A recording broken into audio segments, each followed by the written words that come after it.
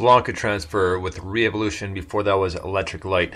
Next up, uh, these next two songs are for Martina, since uh, myself and her and the Forgotten Saints were talking about their new song Fade to Grey, which is on SoundCloud, a very cool song. I don't have the MP3 yet, but I should have it tomorrow. But until then, here's some of their other really good tunes, and this is Event Horizon.